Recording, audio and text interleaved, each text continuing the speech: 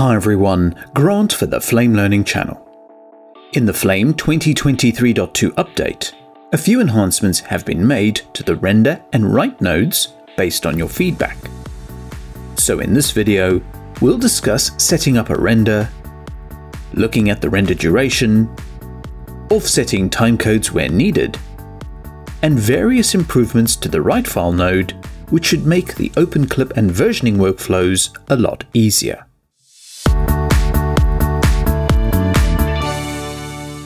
Once you have completed your batch node-based composite, you need to render the result.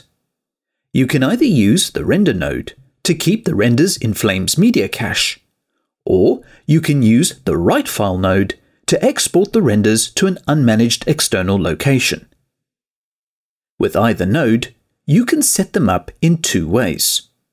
The first way is gestural, whereby you drag the node out of the node bin and connect your RGB and any mattes or alphas. Next, you would choose what type of clip you'd like to create RGBA or multi-channel. The second way to add a render or write file node is to right-click on the last node of the composite and choose one of the options. In the context menu, you can choose between RGBA and multi-channel. And when you make your choice, Flame will automatically connect the nodes for you. This is handy for lots of multi-channel media, which is covered in a separate multi-channel video for Flame 2023.2.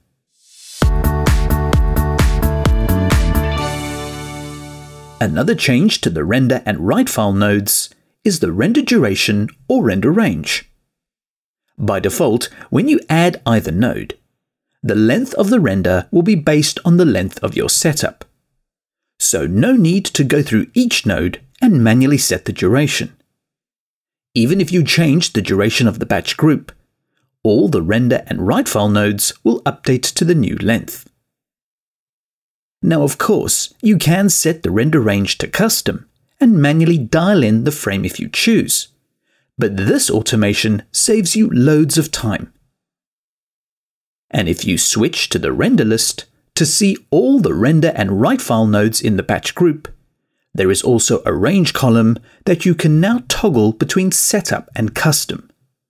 Setup uses the in and out frames from the batch group, and custom will allow you to choose your own start and end frame for the renders.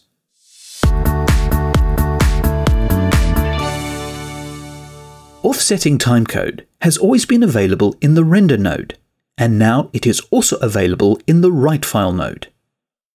To show you how this works, let's say you have a batch group and you want to start rendering from frame 10 instead of the first frame of the composite. So you need to set the render range to custom and choose to start rendering from frame 10. This is reflected in the player bar when the node is selected as well as in the render list. Looking back at the basic menu, you may also have set the source and record timecodes that you want to associate with the rendered media. The idea is that your source and renders have the same timecodes in order to help keep things in sync through your pipeline. This is where you would use offset timecode. Offset timecode is on by default, and this means that the source and record timecodes will always be locked with frame 1 of the batch group, which in turn should match the timecodes of frame 1 of the original source media.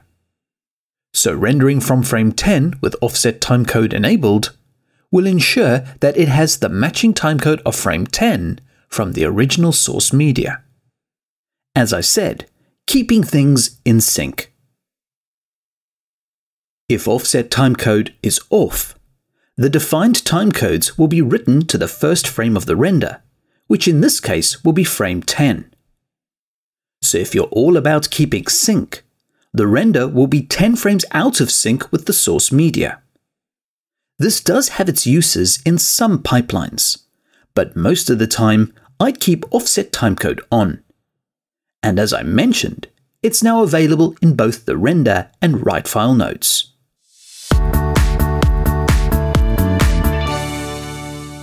One minor update to the write file node is that creating an open clip with your render now follows the padding of a batch group iteration.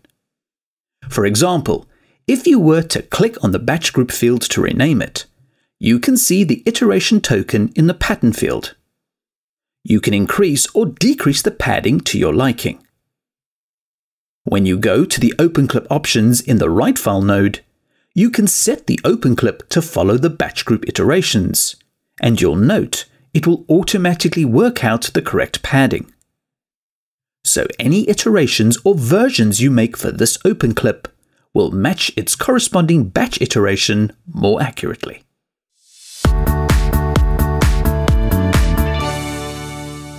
Another improvement to the write file node, which may not be that obvious, is a small enhancement when including setups with your renders. For example, let's render this batch node tree and look at the open clip. In the timeline environment, you can select the open clip segment and examine the properties. If you want to open the segment as a batch group, you do so through the pull-down menu. This loads the setup file and creates a new batch group with the same name. The change from previous versions is that all the render and write file nodes are still present in the batch node tree and are no longer removed from the setup.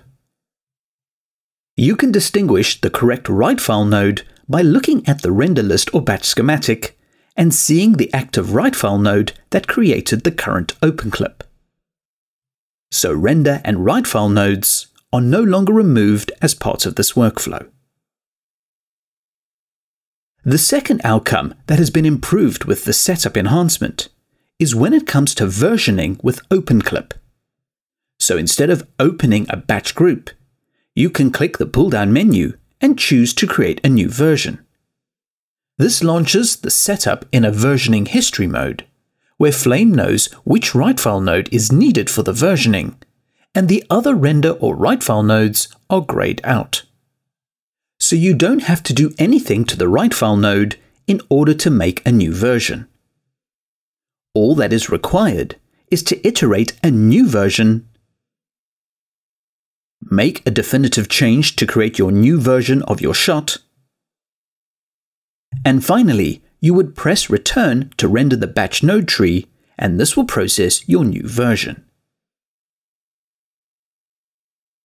Once the render is complete, you can go back to the OpenClip properties and toggle between the different versions in the segment.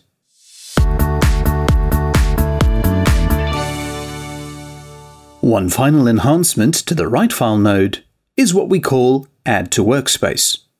Essentially, this removes the manual process of importing your render once it's been generated by batch or batch effects.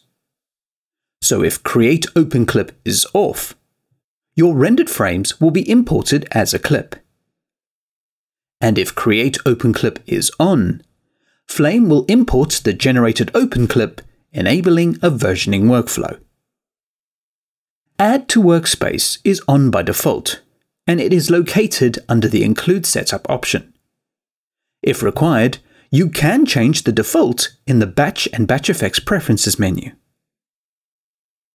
So when you render a batch node tree using Add to Workspace, the generated open clip will automatically import itself to your chosen destination. The open clip segment can then be edited directly into a sequence, and no need to leave the Flame application so this is a big time saver. As a final note and a safety precaution, Add to Workspace is disabled for background rendering. Since it is possible to continue working in Flame with Burn or Background Reactor, any changes to the structure of the project could result in losing the destination for the incoming OpenClip. Therefore, in these instances, Add to Workspace is unavailable please subscribe to the Flame Learning channel and click the bell to be notified for future videos. Comments, feedback and suggestions are always welcome and appreciated. And thanks for watching.